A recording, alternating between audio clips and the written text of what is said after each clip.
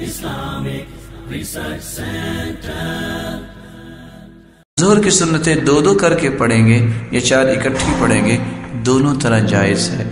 حدیث سنیے، من صلى اربعا قبل الظهر واربعا بعد الظهر حرمه الله على النار. جو چار رکھتے، ظہر سے پہلے اور چار ظہر کے بعد پڑھتا ہے، اس کو اللہ آگ پہ حرام قرار دے دیں گے اور دوسری روایت صلاۃ اللیل والنہار مسنا مسنا دن اور رات کی نماز دو دو رکھتے ہیں۔ تو دونوں طرح ہی پڑھی جا سکتی ہے۔